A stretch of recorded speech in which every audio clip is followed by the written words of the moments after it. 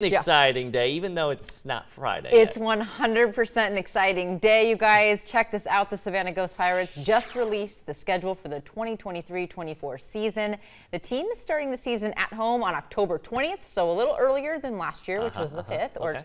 you know, last October, if you will. Yep. And just glancing at the schedule, it appears the team is going to have a game every Saturday, November through April, and almost every Friday, except for a couple. So, again, really busy season. You Yeah. know, the players come here to play, the staff comes here to work, and so it's uh, yeah, it's going to be a great season. We're obviously hosting the All Star Game, which Yes, is a yep. huge deal, um, and our affiliate, our NHL affiliate, is closing in on the Stanley Cup final. So you know, there's some big, big exciting things happening. Things looking Yeah. up here. It's, it feels like the season just ended, but it, it gets people Yeah. excited for the next season, right? Like, oh, okay, It really yeah. Start does. circling some dates on the really calendar. and the.